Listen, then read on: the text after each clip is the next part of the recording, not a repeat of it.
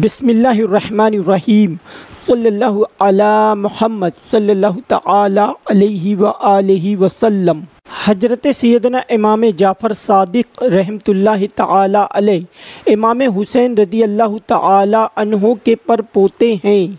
हज़रत इमाम जाफ़र सादिक ताला अलैह की विलादत, सत्रह रबीउल अव्वल, अस्सी या तिरासी हिजरी में पीर शरीफ के दिन मदीना पाक में हुई।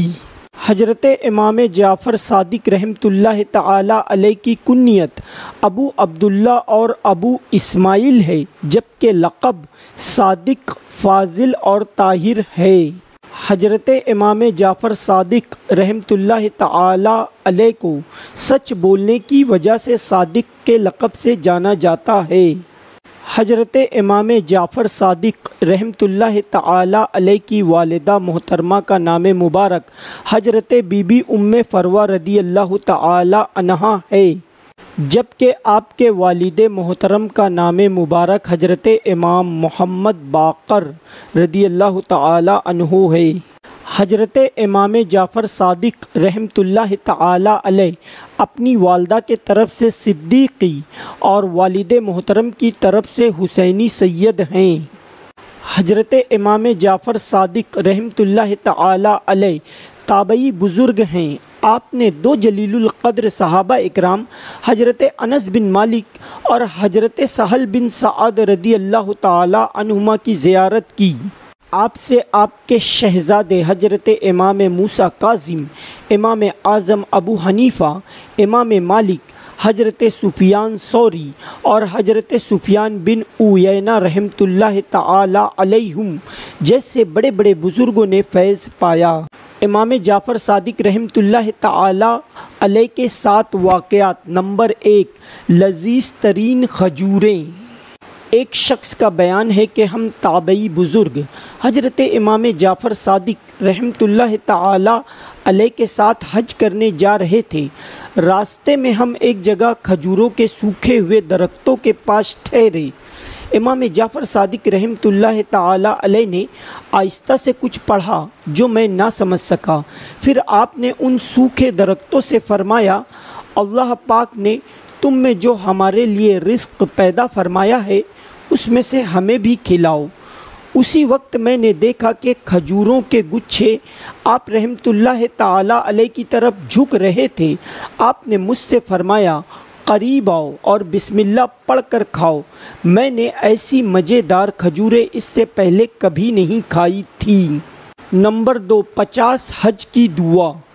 एक मरतबा एक आदमी ने इमाम जाफ़र सदक रहमत ताला से दुआ के लिए अर्ज़ की कि अल्लाह पाक मुझे इतना माल दे कि मैं बहुत से हज करूँ।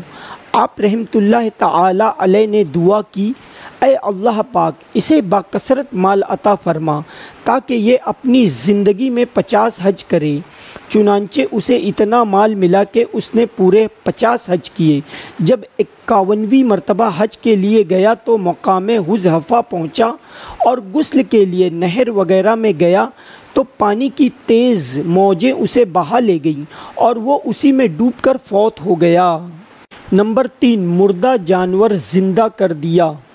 हज़रत इमाम जाफ़र सादिक रहमतुल्लाह ताला मक्का पाक में एक दिन कहीं तशरीफ़ ले जा रहे थे कि रास्ते में एक औरत अपनी गाय के मरने पर रो रही थी। आप रहमतुल्लाह ताला ने फरमाया, क्या तुम चाहती हो कि अल्लाह पाक तुम्हारी गाय ज़िंदा फरमा दे? औरत ने अर्ज़ की आप हमसे इस तरह मज़ाक करते हैं, हालाँकि मैं पहले ही मुसीबत में हूँ। आप रहमतुल्लाह ताला अलैह ने औरत से फरमाया, मैं तुमसे मज़ाक नहीं कर रहा। फिर आप रहमतुल्लाह ताला अलैह ने दुआ फरमाई और उस गाय के सर और पाँव को पकड़कर हिलाया तो वो जल्दी से उठकर खड़ी हो गई। नंबर चार, गुमशुदा चादर मिल गई। एक शख्स ने मक्के पाक में एक चादर खरीदी और इरादा किया कि ये चादर हर गिस किसी को ना दूँगा, बल्कि अपने इंतकाल के बाद तबर्रुकन इसी को कफन बनाऊँगा।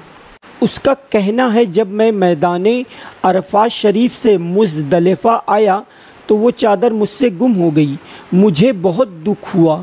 जब मैं सुबह मुजदलिफ़ा से मीना शरीफ की तरफ़ आया तो मस्जिद अलखैफ शरीफ में बैठ गया। अचानक एक आदमी जो ताबई बुज़ुर्ग हज़रत इमाम जाफ़र सादिक रहमतुल्लाह ताला के पास से आया था, मुझसे कहने लगा आपको इमाम जाफ़र सादिक रहमतुल्लाह ताला बुला रहे हैं। मैं जल्दी से उठकर आपकी खिदमत बाबरकत में हाजिर हुआ और सलाम अर्ज़ करके एक तरफ़ बैठ गया। आपने मेरी तरफ़ गौर से देखकर फरमाया, क्या तुम ये पसंद करते हो कि तुम्हें तुम्हारी चादर मिल जाए, जो तुम्हारी मौत के बाद तुम्हें कफन का काम दे? मैंने अर्ज़ किया ए इब्ने रसूल अल्लाह, वो तो काफ़ी दिन से गुम हो चुकी है। मिल जाए तो क्या बात है? आप ताला अलैह ने अपने ग़ुलाम को आवाज़ दी, वो चादर ले आया। मैंने देखा तो ये वही चादर थी। आप रहमतुल्लाह ताला ने इरशाद फरमाया, इसे ले लो और अल्लाह करीम का शुक्र अदा करो। नंबर पाँच, जन्नत में घर। एक मरतबा एक शख्स दस हज़ार दीनार लेकर हज़रत इमाम जाफ़र सादिक रहमतुल्लाह ताला की बारगाह में हाजिर हुआ और अर्ज़ करने लगा, हुजूर, मैं हज के लिए जा रहा हूँ। आप मेरे इस पैसे से कोई मकान वगैरह ख़रीद लीजिए ताकि मैं हज से वापसी पर अपनी औलाद को लेकर वहाँ रहना शुरू कर दूँ। फिर हज से वापसी पर वो शख्स आप रहमतुल्लाह ताला अलैह की बारगाह आली में हाजिर हुआ तो आप रहमतुल्लाह ताला अलैह ने उससे फरमाया, मैंने तुम्हारे लिए जन्नत में मकान ख़रीद लिया है, जिसकी पहली हद हुजूर अकरम सल्लल्लाहु अलैहि व आलिहि वसल्लम पर, दूसरी हद हज़रत अली मुर्तज़ा रदी अल्लाह अनहो पर तीसरी हद नवास रसूल इमाम हसन मुजतबा रदी अल्लाह तहों पर और चौथी हद हज़रत इमाम हुसैन रदी अल्लाह तहों पर ख़त्म होती है और ये लो मैंने इसे तहरीर भी कर दिया है। ये खुशखबरी सुनकर वो शख्स बहुत खुश हुआ और ख़त लेकर अपने घर चला गया। घर जाते ही वो शख्स बीमार पड़ गया। उसने वसीयत की कि इस ख़त को मेरे इंतकाल के बाद मेरी कब्र में रख देना। घर वालों ने दफन करते वक्त उस ख़त को कब्र में रख दिया। दूसरे दिन देखा तो वही ख़त कब्र के ऊपर रखा हुआ था और उसके पीछे ये लिखा था, इमाम जाफ़र सादिक ने जो वादा किया था, वो पूरा हो गया। नंबर छः मक्खी क्यों पैदा की गई? हज़रत इमाम जाफ़र सादिक रहमतुल्लाह ताला अलैह एक मरतबा खलीफा मंसूर के दरबार में तशरीफ़ फरमा थे कि मक्खियाँ बार बार खलीफा के मुँह पर बैठती थीं। खलीफा ने तंग आकर अर्ज़ की अय अबू अब्दुल्ला, अल्लाह पाक ने मक्खी को क्यों पैदा फरमाया है? आपने खलीफा को चोट करने के लिए इरशाद फरमाया ताकि ालिमों और मगरूरों को जलील करे। नंबर सात, आजजी की अजीम मिसाल।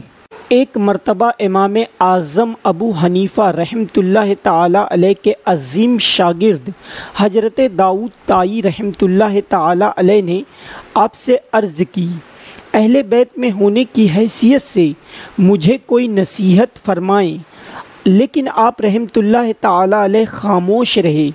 दोबारा अर्ज़ की कि अहले बैत में होने के एतबार से अल्लाह पाक ने आप रहमतुल्लाह ताला अलैह को जो फजीलत बख्शी है, इस लिहाज से नसीहत करना आपके लिए ज़रूरी है। ये सुनकर आप रहमतुल्लाह ताला अलैह ने फरमाया, मैं तो ख़ुद खौफजदा हूँ।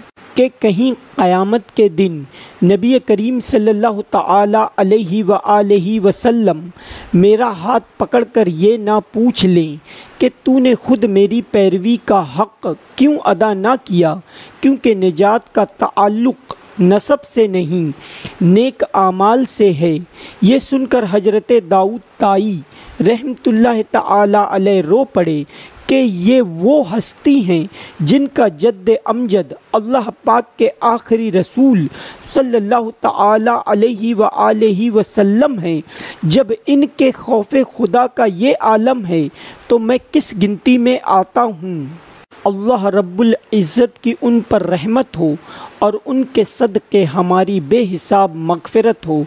आमीन। बेजाह ख़ातमिन नबीन सल्लल्लाहु अलैहि व आलिहि वसल्लम।